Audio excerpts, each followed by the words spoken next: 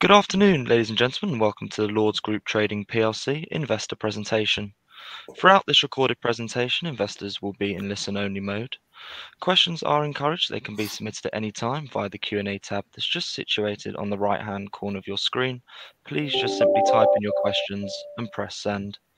The company may not be in a position to answer every question it receives during the meeting itself. However, the company will review all of the questions submitted today and publish responses where it is appropriate to do so.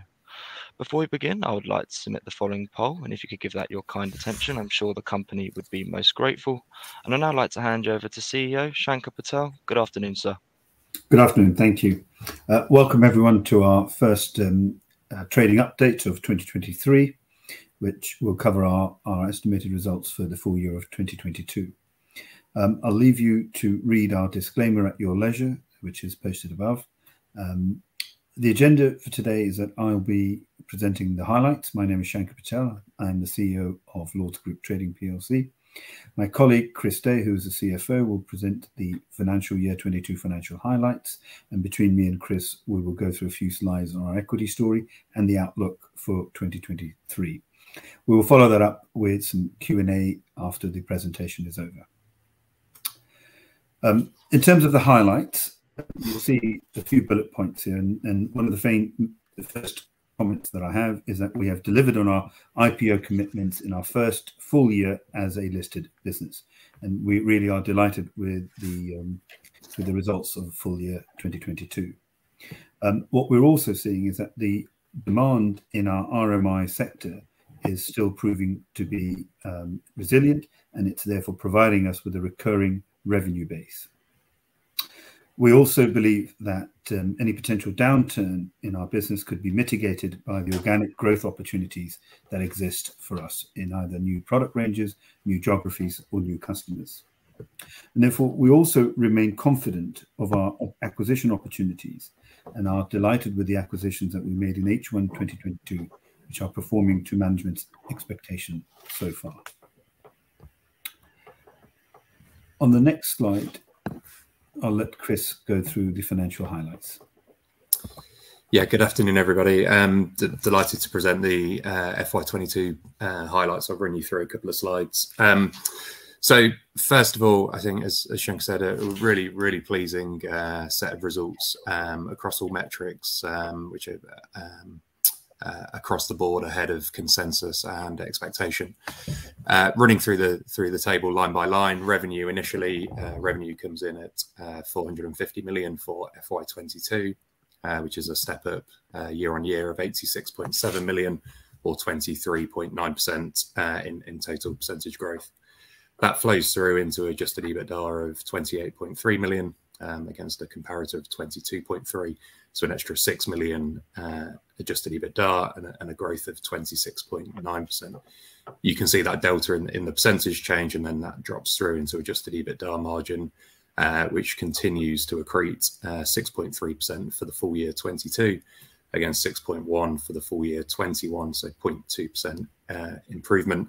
And since IPO in so over over a two-year period, that's now a 0.9% improvement in our in our EBITDA margin. Adjusted profit before tax uh, stands at uh, 16 million, and I should say the gold column is at not less than position as we head into uh, full year audit, so not less than 16 million against an FY21 of 12.3, so 3.7 million step up and a 30.1% improvement. Um, The other point to call out here is is bullet point three. So um, We we finish uh, 31st of December with a net debt position of 23.5 million on a pre-IFRS basis, so just over 1x uh, EBITDA. Uh, that's a position we're very comfortable with. We think we think there's headroom, and we we retain balance sheet strength to pursue further growth initiatives, whether they're organic or acquisitive-led. Overall, uh, for the group, um, some some uh, really strong progression. I think clear market outperformance in in the revenue growth, and you'll see the like-for-likes in in a second. Um, and and Kind of real evidence of executing the strategy and on target to hit those um, medium-term numbers in terms of revenue at 500 million and EBITDA margin at 7.5%. Stepping down into the first division, being merchanting, um, I think absolutely fantastic performance. Um, revenue of uh, just under 221 million, uh, 17.4% like-for-like, uh, which is something we're absolutely delighted with the with the teams and the manner in which they've achieved that. And overall, that's 90.3 million incremental revenue in FY22. or a 69.2% overall revenue growth. That that really is kind of uh, particularly the like-for-like um, is is testament to the service and products uh, led proposition that we have. So you know, we're offering that superior service and product knowledge through our exceptional colleagues is is really driving uh, extra footfall and customer acquisition in in our direction. Um, product price inflation has clearly been prevalent throughout FY22. We we spoke about it in, in all of our updates last year. Uh, it has softened towards the back end of FY22 and definitely kind of softening into um, FY 2023. Um, uh, the success rate of passing through those inflationary pressures uh, has improved as well through the year. So something we're really pleased with merchanting as a whole for 2022 completed three acquisitions. Um, you can you could look back at previous presentations on, on the website or Investor Meet Company. Uh, Advanced Roofing uh, in January 22, which brought for the first time kind of credibly brought um, uh, the roofing offer to our general builder population across the merchanting business. AW Learn, which operates at two locations in, in Tamworth and Dewsbury, and uh, the Buildbase Sudbury uh, asset purchase that went through in April 22. onto plumbing and heating, and and I guess it, it's easier to see the plaudits in in merchanting with that strong light for light, but we um, we think plumbing and heating has also had a had a really strong year. Um, the visibility of that is is slightly masked through the revenue position. Um, it's well documented that there's been an industry wide boiler supply issue throughout the year. Again, softened through the year, you can see that in the in the light for likes. If you look at the half year versus the full year, you can see that that position has improved. Uh, substantially.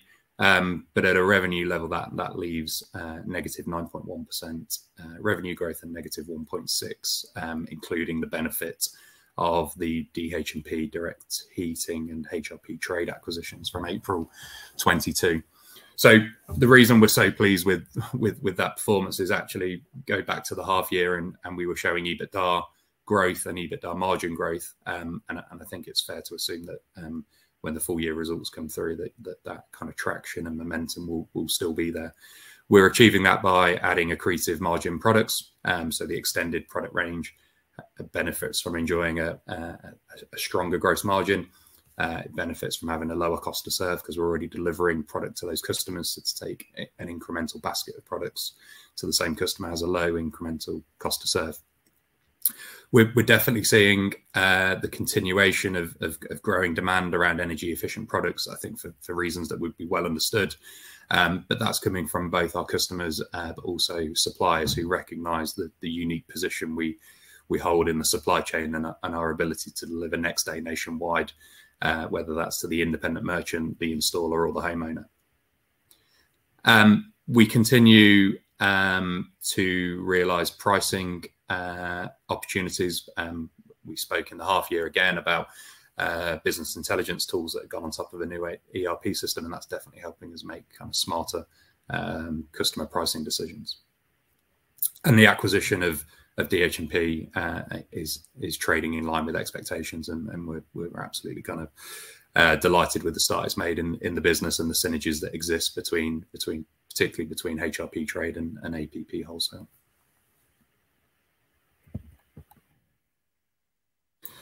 Back to Shanker um, for a slide on on our equity story.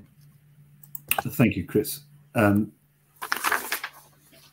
we thought that um, we would uh, reiterate to the market our equity story. And firstly, you know, what we're saying is that we fundamentally believe that, you know, we have a great equity story to offer.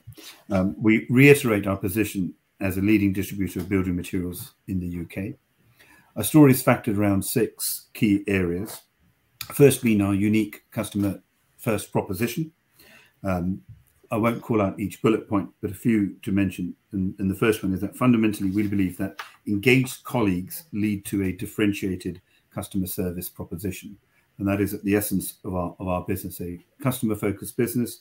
And we deliver that customer focus for the benefit of our customers through our engaged colleagues. We spend a, a substantial amount of time ensuring our colleagues remain engaged.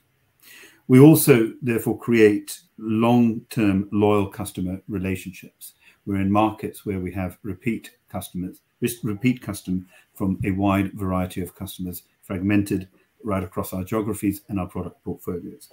So it allows us a tremendous amount of loyalty from our from our customers.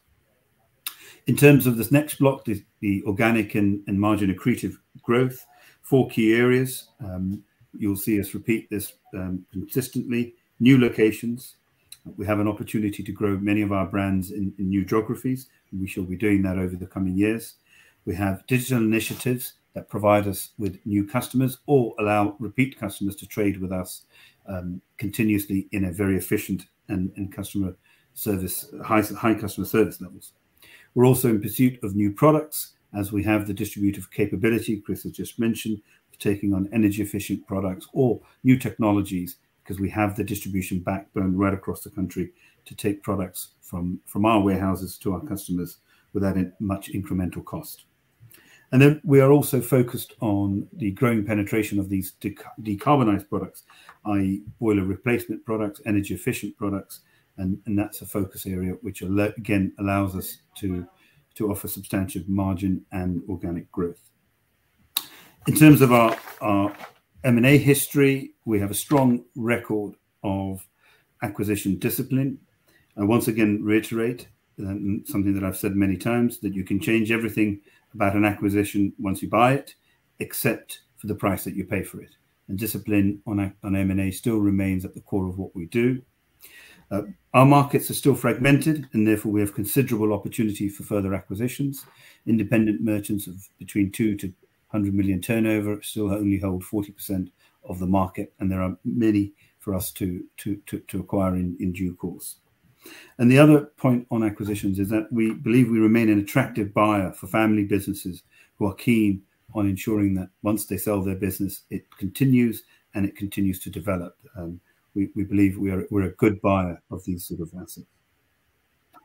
In terms of our strong financial profile, we're on track record to deliver our revenue targets by 2024. We are highly cash generative. That allows us the, the, um, the freedom to grow our business and invest in it. And we believe for our investors, the fact that we are dividend paying and we have a pro progressive dividend policy further reiterates our equity story.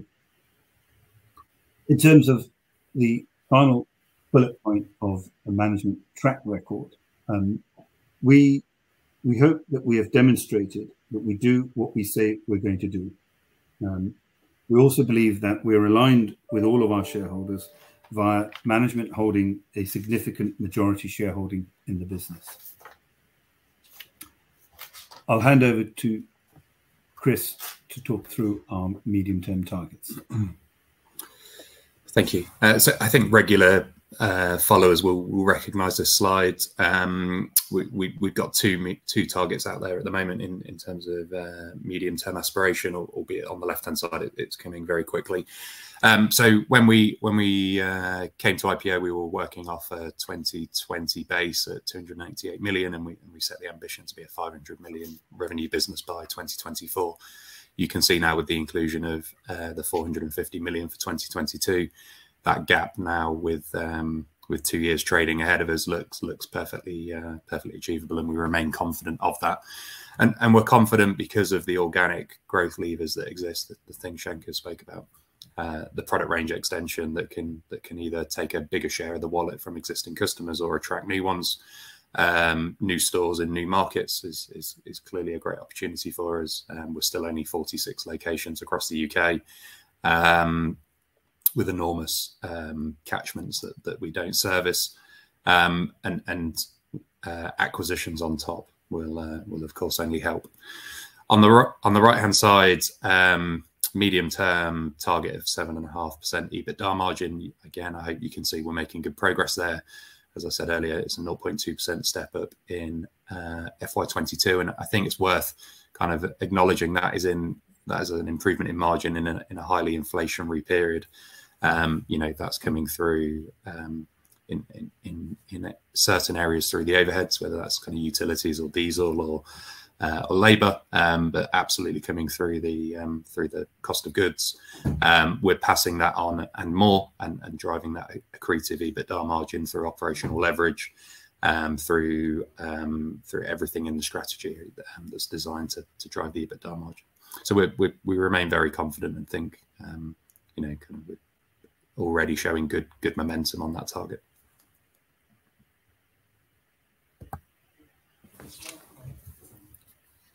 of our presentation is the outlook and summary. Um, of course, we are mindful of the uncertain macroeconomic um, conditions that we face at this moment in time, and in particular, our markets um, in terms of construction and construction products is highly sensitive to any GDP decline. But we still maintain that the reason Lords is different and our investment proposition still remains a very good one is that the market is still large, of which we are a very small player. We're still less than 1% of a 55 billion pound market. Um, we also believe that our market, in our markets, customer demand is resilient. Yes, of course, it will be impacted, but there are many of the products that we sell which simply are agnostic to any um, GDP or economical um, uh, downturns. Um, we, in addition to that, have some levers that will meet any potential um, downturn in the in, in, in, the economic conditions. Firstly, it's the fact that our H122 acquisitions are performing very well, and we will start to see their contribution to in, in a full year uh, basis in 2023. Um, we also have plenty of organic growth levers to enable market outperformance. We we keep on reiterating this. Um, we've just been through some of the details on where we feel the organic levers exist, and we'll be sure to use them to ensure that not only do we um, with, withstand whatever economic outlook downturn we face, but if possible, we, we grow our way out of the potential downturn. Um, we'd like to also, once again, reiterate that we are on track to deliver our 500 million revenue target by 2024 and our 7.5% EBITDA margin in the near term thank you everyone for, listening, and I think we can head over to Q and A. Um, Shanker, absolutely, and Chris as well. Thank you very much indeed uh, for your presentation this afternoon. Um, ladies and gentlemen, please do continue to submit your questions just by using the Q&A tab that's situated on the right-hand corner of your screen. Uh, but just while the team take a few moments to review those questions that were submitted already, I would like to remind you that a recording of this presentation, along with a copy of the slides and the published Q&A can be accessed via your investor dashboard. Uh, Shanker, Chris, as you can see there in the Q&A tab, we have received a number of questions throughout throughout today's presentation. And thank you to all of those on the call for taking the time to submit their questions. And Chris Shanker, perhaps if I now just hand back to you to respond to those where it's appropriate to do so, um, and then I'll pick up from you at the end. Thank you. Yeah, yeah no problem. Um, right, so uh, first question from uh, Sam E. Uh, great progress. Any thoughts on international expansion, or is the focus on capturing more share in the UK? Um, so international expansion isn't isn't um, on our on our radar. Um, as we said in the previous slide, when you're less than one percent of a very large market, I think our shareholders would would not forgive us for for entering into markets that we clearly don't really understand at this moment in time. Albeit that we have a model that we may be able to to um, replicate in, in, in certain certain geographies, um, but we don't think that shareholder value will be created by by doing something like that at this moment in time. We we do therefore reiterate that capturing more share of the UK market is fundamental to our strategy, and it remains we remain on track to deliver that.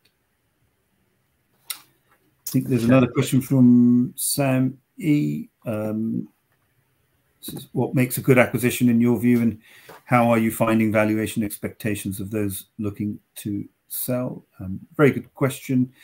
Um, what makes a good acquisition? There are obviously multiple factors that make a good good acquisition. Um, location is one of them. Um, we analyze acquisitions for either are we going into new geographies, and if we are, does the asset that we're looking to purchase have good locations? So physical locations are very important to us. Um, do they have a good customer proposition? Do they have a good product range proposition, which um, which will be, in addition to us. So if you look at the advanced roofing, the advanced roofing was was a business in, in a good geography in, in, in the um, home counties. It served a very good market. It filled a gap. We didn't have expertise in that particular product space, and it had really good people. So all in all, locations were, were, were very good. The customer proposition, we always vet that, was was good. Always can be enhanced, which is which is where we add our value added. Um, and then it brought us into a new product area, which was complementary to to our current product portfolio. Chris, do you want to take one? Yeah, I was going to say just to add on the valuation point, we um, we we have a uh, stated aim of, of four to six times EBITDA. Um, I think the five that have landed post IPO average four point six times uh, EBITDA. Um, so I think realistically, we're we're um, we're already kind of achieving valuations towards the towards the lower end of expectation. So the, the movement down, it, it, it starts to become uneconomical for the owner. Um, um, I think in terms of the question of how we're finding expectations of those looking to sell, I think no, no different to what it's always been. There's, there's, always going to be a buyer and seller negotiation. Um, I think the fact that most of the sellers that we work with or, or transact with understand our parameters. And and therefore you know the the approach we have is one what we call a collaborative approach to a transaction. It's not necessarily just the price it's the fact that you get a certain you get an outcome that is certain. Um, if we've overbid and then in dd we find that um, we've over we're overpaying that leads to an uncertain transaction. We avoid that um, that process and therefore we're always making sure that we have a collaborative approach so that once we've agreed a price, then that price can be maintained and we make sure that we transact at that price without having to renegotiate. Um, we're also very selective on the assets that we, we look at and the conversations that we have. Okay. Um, Nick B has asked what is the current headcount and where do we see the number moving over the next 12 months? So um, current number is is just below uh, 900 heads, um, and and we very much kind of uh, in, invest for, for for growth. So um, if we can see an opportunity to, to to continue to grow a branch or a certain location, then we, we understand that that needs to be to be backed um, with extra resource. But we run it kind of on a on a very uh, efficient model and have expectations of, of revenue per head um, in each of our divisions. Um, so um, sub 900 at the minute and, and would continue to back growth.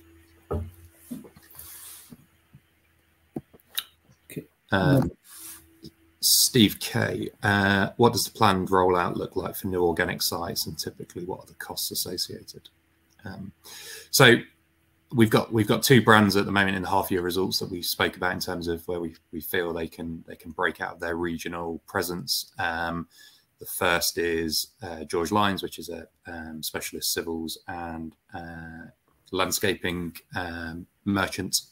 Uh, it's a 2016 acquisition. It was it was one branch and and um, 12 million of revenue, and it it's grown to, to uh, three um, and almost 30 million of revenue now. So um, we we've looked at that, and we think there's the opportunity to take three. And, and the third was opened in 2022 in Horsham. We think there's the opportunity to take three up to up into the range of eight to ten, um, that that would um, that would be a very comfortable fit in in uh, in the target markets and catchments that are available to us. Um, and the second one is Mr Central Heating, which is a brand in our plumbing and heating business. It's quite unique. At 25% of its revenue is uh, is online, which is which is pretty high penetration in our in our space. It operates out of 10 locations. The 10th was opened in, in West Bromwich in 2022. Um, and we've said there we think we can get to uh, 50 sites, so 40 incremental. Um, we, have worked in 2022 on the catchments and, and, making sure that the, the West Bromwich site is uh, putting its best foot forward, and, and then um, would expect to see that rollout accelerate. Um, um, a couple of new openings in 23 and, and, then starting to accelerate in 24, 25. In terms of cost, Uh, Mr Central Heating, uh, all in CapEx working capital, uh, net working capital, you're looking at about half a million pounds of outlay. Um, George Lines um, is more because they're bigger sites. It's not a trade counter. It's a you know it's an acre an acre site. Um, you you typically include in working capital for for George Lines, be looking at anywhere between seven hundred and a 1 million pounds. Thank you, Chris. Got one more question. Uh, what do you think selling prices will do in 2023? Um, difficult to be very definitive given there are you know probably close to 40 to 50,000 products that we sell right across the board in all our different um, uh, brands and businesses. But if I may call out a few areas. Um, items that are commoditized, such as timber, they have fallen uh, considerably in 2022. We don't think that there's um, any further decreases on on what and what is a major part of our business. Um, so we don't feel that there's going to be further decreases in prices on that side. On the heavy side building material, um, there will be potentially some marginal decreases in prices. But again, we don't see a very big decrease in prices expected. Um, capacity is still low in in bricks and plasterboard and a lot of heavy side material. Um, whilst demand has been in excess of capacity for the best part of 18 to 24 months, and we, we're all expecting demand to to be lower, we don't mm. feel demand is going to be sufficiently lower that prices will come tumbling down. Um, there is always a margin for for trading and for, for localized pricing to come down as either merchants eat into their margin or manufacturers would like to eat into their margins. We'd prefer, obviously, for manufacturers to eat into their margins rather than for us to eat into ours. But it's it's it's it's it's selected uh, selective. It will not be across the the market in in in any great form. Um, and in fact, we will probably see some price increases coming through as as our manufacturers and suppliers face price increases, notwithstanding the downturn in the economic um, outlook and the potential economic activity that will result. Shanker, Chris, if I may just jump back in there. And thank you very much indeed for being so generous of your time and addressing all of those questions that came in from investors this afternoon. And of course, if there are any further questions that do come through, we'll make these available to you immediately after the presentation has ended for you to review, to then add any additional responses, of course, where it's appropriate to do so, and we'll publish all those responses um, on the Investor Meet Company platform. Shanker, perhaps before redirecting those on the call to provide you their feedback, which I know is particularly important to yourself and the company, if I could please just ask you for a few closing comments to wrap up with, that'd be great. Thank you. Um, in terms of closing comments, firstly, thank you for your time in attending this Investor Meet um, uh, presentation. Um, secondly, we we really remain delighted with with our results, but but more delighted with the the efforts of our colleagues. The question was asked how many colleagues. There are 900, just under 900 wonderful people working in our business, and we thank them for all their hard work, which has resulted in a tremendous success for the business. And we also remain committed to meeting our near and medium-term targets. And we believe we have an extremely resilient business and extremely flexible business that can react to um, market trends and crisis if there happens to be one during 2023. Uh, we also thank all our investors for their support and uh, wish you all a very good day. Shanker, Chris, that's great. And thank you once again for updating investors this afternoon. Could I please ask investors not to close this session, as you'll now be automatically redirected for the opportunity to provide your feedback in order that the management team can better understand your views and expectations. This only take a few moments to complete, but I'm sure will be greatly valued by the company. On behalf of the management team of Lords Group Trading PLC, we would like to thank you for attending today's presentation. That now concludes today's session. So good afternoon to you all.